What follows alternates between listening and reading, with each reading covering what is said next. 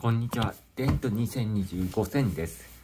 えっと、今回所有車両の、所有、所有車両第2弾の紹介です。前回は常磐線の E531、加藤製品の E531 を紹介しましたが、今回は地元を走る田園都市線5000系の紹介です。まあ、田園都市線5000系は最初買ったのは GM の完成品で、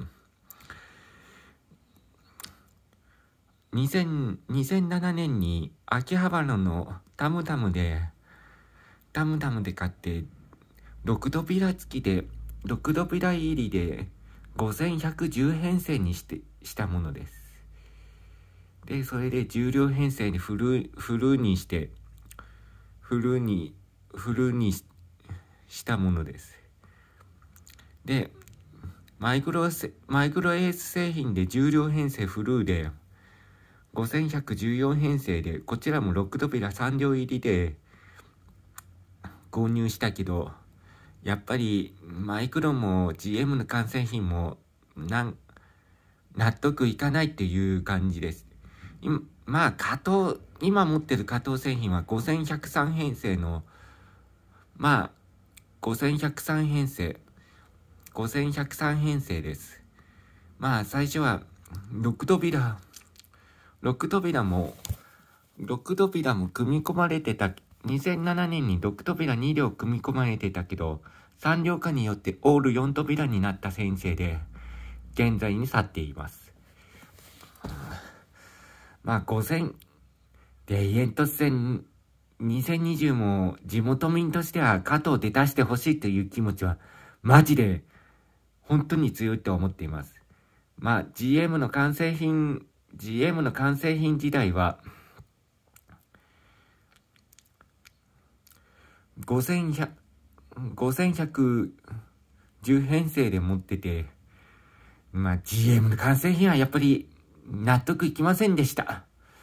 で、ご覧の通り、急行茎行きにして、加藤製品で急行茎行き、女性専用ステッカーも貼り、で、車両と間の黄色ステップ、やっぱり加藤製品はね、なんか納得いきますね。やっぱり加藤、加藤の方が、やっぱり製品、こっち、まあ編成上からいきましょう。こっちが5103、区波5103です。こんな感じ。次が、5203、デハ5203、デハ5303、シングルアームダブルパンタ付きの5303。で、稼働製品では動力ユニット付きです。で、サハ5400、サハ5400、5403。で、サハ5503。で、デハ5603です。こんな感じ。で、デハ5703。で、サハ5803。で、デハ5903。で、ガタバンタク付きですね、こちらは。そして最後は、グハ5003の順で、こっちが中央林間側の戦闘車です。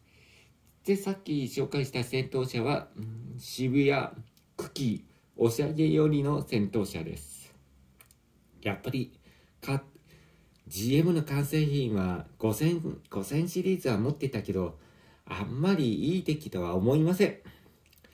やっぱり加藤の方が、やっぱり質がいいです。で、こん、こんな感じで今回、今回所有車両第2弾として紹介しました。では、次の動画でお会いしましょう。